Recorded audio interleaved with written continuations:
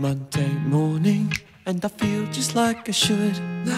Oh Lord, please forgive me because I don't know if my friends could. My roommates sitting round the kitchen table like they just don't care. But I know that they care. This time I've gone too far. They're drinking tea from mason jars.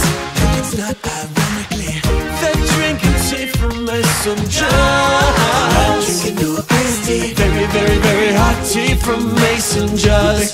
Hey Tommy, how did you sleep? I said, Good, but please don't look at me. She says, Why don't you want me to look at you? I say, Fine if Rebecca wants some looking time. And then I stare at Rebecca. Stare at a nice work, Tommy. You're flying under the radar. Is this what you wanted, Rebecca? No, exactly. Back the fuck up. Harry says, Yo, TC, I've got a question that I'd like to ask you. What? I was just dishwasher. I don't know where the cups and mugs are. Do you? Why would I know where your fucking mug went? They're everybody's mugs, why are you so defensive?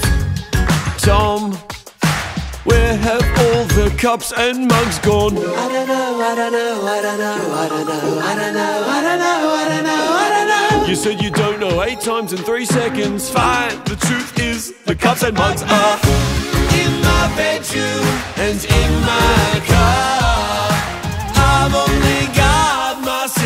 Blame. If you wanna know where I keep my shame, In my bedroom and in my car. God gave you an ensuite and that's fine. He gave me a big first at bedtime.